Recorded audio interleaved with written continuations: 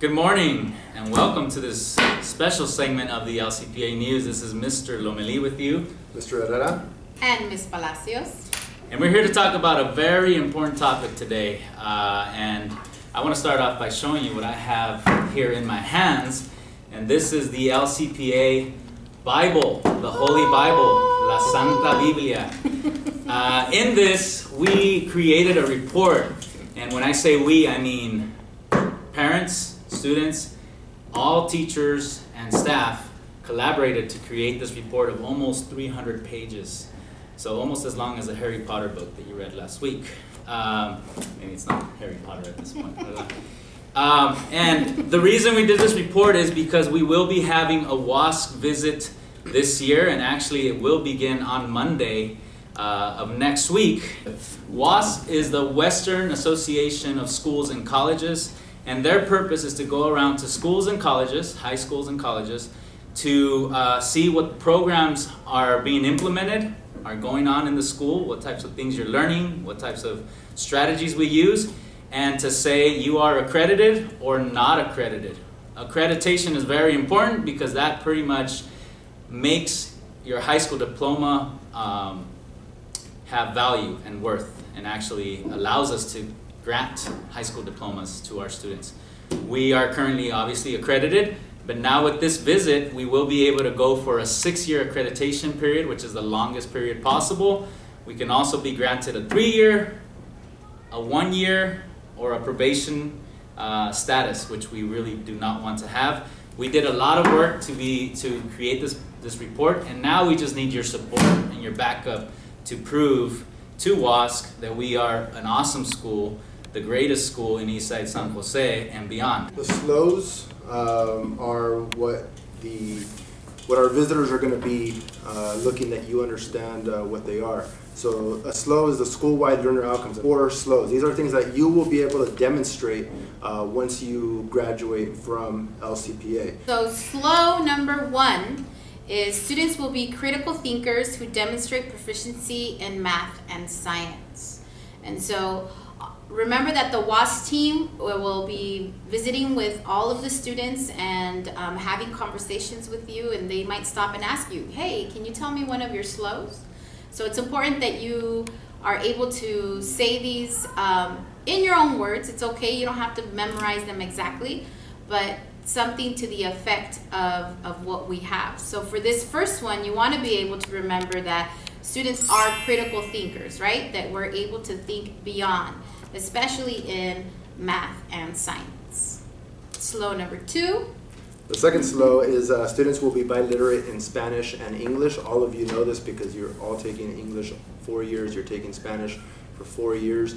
Um, something that we're really proud of here at LCPA is uh, that we uh, push you guys to uh, earn the seal of biliteracy, which we've done the past few years, and we've had uh, students uh, earn that not like me. I can uh, I can speak in English and Spanish, but biliterate means that you that you can speak, that you can listen, that you can read, and you can write.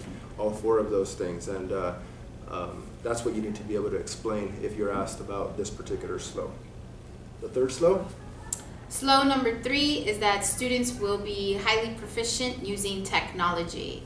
And uh, we can see this demonstrated by all of you now have Chromebooks and in almost every single class you are using Google Drive, you are using Google Classroom. Definitely all of all of your teachers have School Loop and that's the way you guys look up your grades. Um, Turnitin.com and many of the other programs that you all know how to use in your different classes. Those would be excellent things to say um, to a WASC team member when they ask you, so, you know, how is it that you use technology in the classroom? And slow number four, and the last one is what we're actually here for. What are we here for? We're here so that you will graduate not only from high school, but to continue your education past um, the time that you're here with us. So students will pursue higher education beyond LCPA. And the way we measure that is by how many students complete the A through G requirements, uh, college acceptance rates. Uh, this year we're on track to have a record amount of students uh, um, go to a CSU or a UC or just uh, go to uh, any sort of college after LCPA. So um, graduation rates as well on how, uh, how um, what our graduation rate has been in the past, and in the future, that's how we measure this particular SLO. So these are the four school-wide learner outcomes. Again, students will be critical thinkers that demonstrate proficiency in math and science. Students will be biliterate in Spanish and English. Students will be highly proficient in technology, and students will pursue higher education beyond LCPA. It's important that you are able to speak to these SLOs and to share your thoughts and your ideas with any visiting member that, that asks you. Again, in your own words, um, and how you, uh, how you see that we are being successful um, in um, implementing, implementing these, these SLOs. Cool. The only last thing that I wanted to say is the visit will begin on Monday and it will go until Wednesday. You are all welcome to join us on Wednesday in the library at 4 o'clock where the WASC chairperson, La Mera Mera from the team, will be talking about their recommendations for LCPA. They won't tell us if we got a six year or whatever, but they will say some general recommendations. Some of your parents will be here, the staff will be there, and you're all welcome to attend because this is your escuela, your school. So you're a part of this.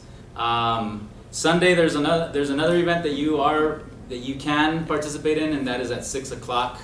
Uh, so if you can be here on Sunday, that would be good.